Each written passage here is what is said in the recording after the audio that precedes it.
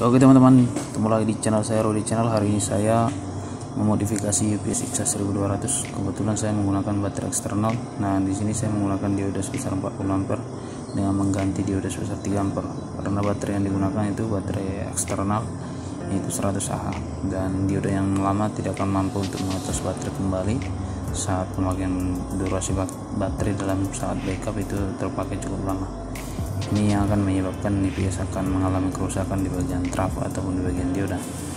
Dan di sini saya menggunakan uh, dioda menggunakan heatsink juga sebagai pendingin yang akan saya pasang ke UPS dan di sini pemasangannya cukup mudah tidak ada perubahan ataupun memodifikasi jaringan jalur hanya mengikuti jalur yang lama tetapi memperbesar kapasitas pengecasan oke teman-teman ini adalah salah satu bentuk uh, modifikasinya uh, untuk dioda baut seperti ini banyak di pasaran seharga Rp25.000 untuk satu pasang. Ataupun yang seharga Rp40.000 dan di sini akan saya solder ke bagian yang sudah saya lepas dari diodanya. Dan ini akan saya gunakan kabel uh, yang 0,25 untuk menghindari adanya panas berlebihan kita harus menggunakan uh, kabel yang besar untuk menstabilkan ataupun mana atau menghindari panas berlebihan pada dioda oke ini akan saya solder ke bagian anoda dan katoda dan ini sebenarnya hubungannya uh, jembat setengah jembatan untuk pemasangan sistem pengecasan. Tidak ada yang sulit hanya tinggal mengikuti saja cara uh, ataupun jalur yang ada pada dioda tersebut Oke, di sini saya menggunakan tiga dioda baut sebesar 40 ampere dan itu akan saya solder ke modul UPS. Oke teman-teman, diikuti terus untuk channel ini uh, dan semoga bermanfaat.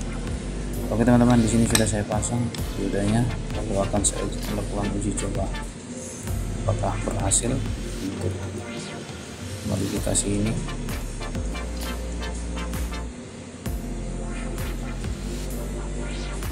Oke teman-teman untuk mencoba atau melakukan uji coba pada UPS saya menggunakan adaptor sebesar 3 ampere sebagai pengganti baterai. Jadi ini sudah saya pasang lalu kita akan coba apakah berhasil. Dan ternyata berhasil lalu kita lihat beban output. Saya menggunakan solder dan sudah berhasil mengubah tegangan DC menjadi AC oke teman-teman kita akan coba juga uh, auto transfer switchnya. Saat nanti uh, PLN hidup ataupun PLN padam kita harus pastikan juga dari colokan tersebut. Dan di sini saya sudah pastikan outputnya sudah maksimal untuk output dari DC ke AC salah tadi kabel ya? inverter dari UPS sudah berfungsi normal. Dan kita akan coba untuk auto transfer switchnya antara sistem pengecasan dengan kelistrikan supaya tidak ataupun menghindari namanya kerusakan pada sistem pengecasan kita akan coba lakukan dengan menghubungkan UPS ke tegangan listrik 220 volt. Oke teman-teman di sini juga saya menggunakan terminal sebagai tempat ataupun pengkabelan di bagian uh, baterai eksternal. Dan di sini saya menggunakan model seperti ini yang biasa digunakan di power supply. Dan itu akan saya pasang nanti ke UPS untuk pemasangan dioda uh, sudah kita lakukan dan kita akan rapikan UPS ini sampai benar-benar berhasil dan sempurna dan siap dipakai untuk membackup perangkat jaringan. Dan ini akan kita potong dari sini kita menggunakan skun seperti yang ada pada video ini. Dan ini adalah salah satu cara saya uh, memasang posisi dioda letaknya seperti ini. Nanti akan saya pasangkan saya pasangkan e, menggunakan kipas 220 volt untuk sebagai pengatur suhu pada pendingin maupun inverter ataupun mau trafo UPS saya menggunakan kipasnya model seperti ini yang akan saya pasang di bagian UPS lalu akan saya solderkan ke bagian output UPS jadi UPS tidak mengalami panas berlebihan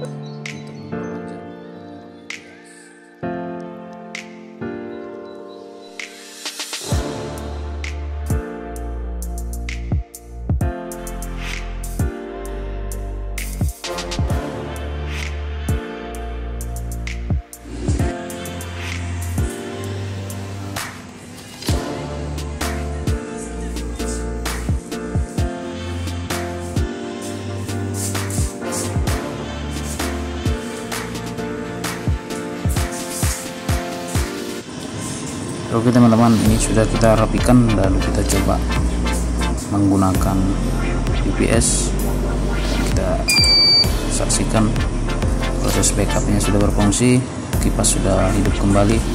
Lalu kita akan coba auto transfer switch antara PLN dengan UPS semoga berhasil kita lihat lampu indikatornya akan berpindah ke bagian atas dengan arus bolak balik ataupun tegangan AC. Kita akan colokkan ke listrik 220 volt kita lihat seperti apa respon dari UPS dan di sini sudah kembali ke bagian PLN. Jadi yang berfungsi sebagai output adalah tegangan PLN ke output. Auto transfer switchnya sudah berhasil. Oke teman-teman seperti itu proses modifikasinya. Untuk wiringnya tidak ada yang sulit hanya mengikuti simbol dioda saja menggunakan anoda dan katoda teman-teman sudah seorang teknisi. Dan inilah hasil akhir dari UPS ini. Dan saya menggunakan baterai eksternal dan sudah saya coba semoga bermanfaat. Jangan lupa like dan subscribe channel untuk menambah wawasan ataupun menambah pengetahuan dari teman-teman. Saya di sini tidak menggurui hanya berbagi